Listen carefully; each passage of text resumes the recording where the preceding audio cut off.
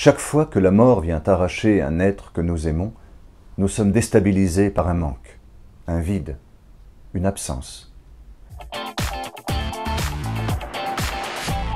Nous nous trouvons confrontés dans notre chair à la grande question du sens de la vie et de la mort, dans une épreuve comme celle du deuil. L'espérance chrétienne nous invite à écouter le message des Écritures.